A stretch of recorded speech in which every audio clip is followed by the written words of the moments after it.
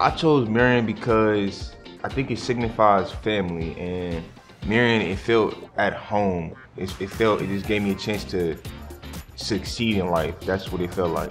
I chose Marian because of a rugby opportunity, having a scholarship over here and coming over to the States. It's an amazing opportunity. Um, what made me choose Marian is I was looking into university and colleges that would support getting an MLS certification. I'm looking forward to the diversity, meeting new people, getting ready for school. You know, it's a new chapter in my life. I'm ready to get it started. I'm most excited about, you know, furthering my education, playing baseball, being in a new place for the first time. I chose to go to Marian uh, because of the environment. Um, I'm part of the Sondom program, so uh, I, I'm really involved in my faith.